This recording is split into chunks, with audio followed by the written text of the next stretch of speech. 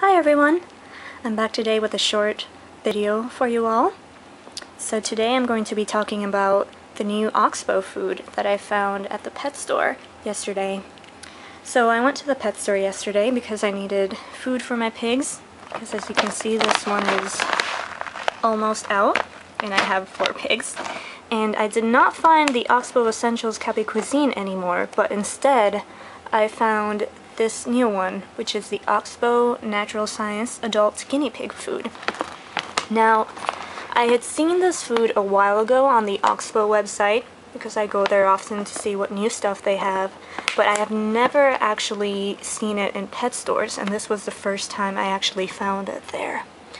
So I decided to buy it, because what I had read on the Oxbow website about it was pretty good, and it looks seems to be more natural than this one, so I decided to get it and give it a try and see if the pigs like it.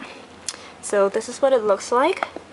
Oxbow, Natural Science, the little guinea pig in the front, adult guinea pig food, with Timothy Orchard and oat hay sources support, digestive and dental health, contains all natural antioxidants and omega-3 and 6 fatty acids, prebiotics, support a healthy gastrointestinal system, and stabilize vitamin C helps pre prevent deficiency.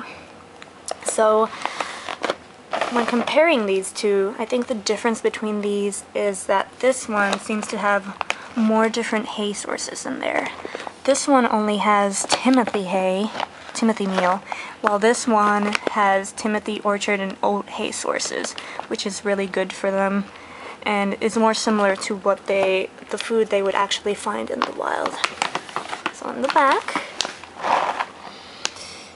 Here's what it says, specially formulated with stabilized vitamin C and other high quality ingredients selected to enhance the overall wellness of your adult guinea pig. When fed as a maintenance food along with unlimited grass, hay, and water, Natural Science Adult Guinea Pig Food provides all of the necessary nutrients to help a guinea pig thrive. As part of the Natural Science Individualized Nutrition Program, this food provides the backbone of nutritive care. And here it has a table of the natural science of this food. It has healthy protein and fat sources such as flax, yellow pea, and canola for muscle health and energy. Um, flax and canola omega-3 and 6 for skin, coat, renal, and cardiac health. Um, yeast, inulin, prebiotics for digestive health um, vitamin A, C, D, E, B complex vitamins, uh, chelated minerals, is vitamin and minerals for all body systems, and Timothy hay, oat gray, sorry, oat hay, orchard grass, tomato pomace as high fiber sources for digestive function and dental health. Okay, now in regards to the appearance, both of these foods look very similar to each other. The essentials, as you can see, are little pellets with no colorful bits of junk food. And this one doesn't have any colorful bits either. It's just little pellets as well. They're just a bit thicker than these. Let's get some and show you the difference. This is the essentials ones as you can see and these are the natural science ones so. They look pretty much the same same color. These are just a bit smaller. Okay so in appearance both of these pretty much look the same. However where you can really tell the difference is in the smell of the food. The essentials one smells pretty much like any other guinea pig food you could buy. It doesn't smell like hay as much as this one does. This one, when you sniff it, it smells like you're walking through an orchard. I'm assuming it smells like orchard grass, so it smells more natural than this one does. So it's very nice. So, yeah, I bought it yesterday, and I gave the pigs a bit of it mixed with this food.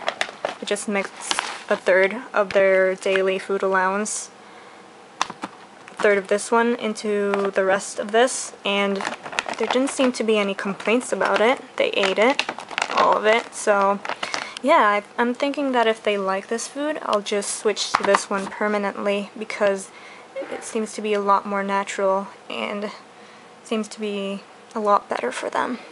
So yeah, if you go to the pet store and see this food, I would recommend you give it a try and see what you think.